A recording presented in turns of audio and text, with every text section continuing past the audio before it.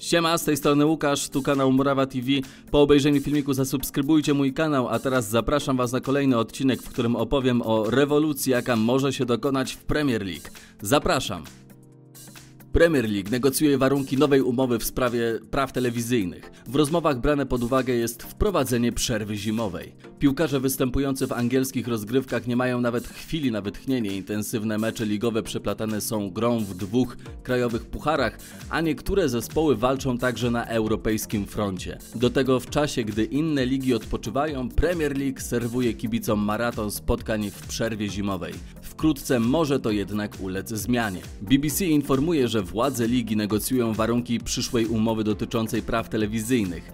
Podczas rozmów zrodziła się dyskusja na temat wprowadzenia w połowie sezonu przerwy w rozgrywkach, która pozwoliłaby nieco odetchnąć zawodnikom. W ten sposób Premier League poszłaby w ślady innych największych europejskich lig, które odpoczywają od zmagań zazwyczaj w okresie świąteczno-noworocznym. Pomysł wprowadzenia przerwy zimowej pojawił się już wcześniej, ale do tej pory był po prostu niemożliwy do zrealizowania.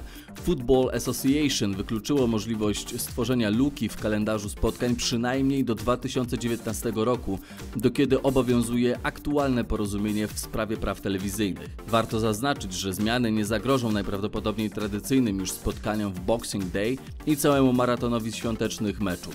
Przerwa w rozgrywkach miałaby funkcjonować na podobnej zasadzie co w obecnym sezonie Serie A, która pauzowała przez dwa tygodnie w styczniu. Premier League w wydanym oświadczeniu informuje, że negocjacje w sprawie są prowadzone już od kilku miesięcy. Podstawowym celem wydaje się znalezienie sposobu na rozwiązanie problemu nieco zagmatwanego terminarza angielskiej piłki. Przerwa w środku kampanii miałaby odciążyć piłkarzy, a strony są otwarte na jej wprowadzenie. Więcej szczegółów powinniśmy poznać nawet w przyszłym tygodniu, wtedy bowiem planuje się ogłoszenie nowego porozumienia dotyczącego praw telewizyjnych. Nowa umowa będzie obowiązywać w latach 2019-2022, a Premier League zależy na zwiększeniu wartości kontraktu, który już teraz dał angielskim ekipom przewagę finansową nad resztą europejskiej stawki.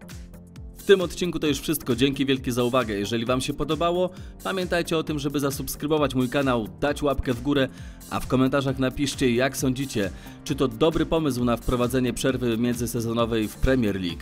Do zobaczenia, do usłyszenia już w następnych odcinkach. Cześć!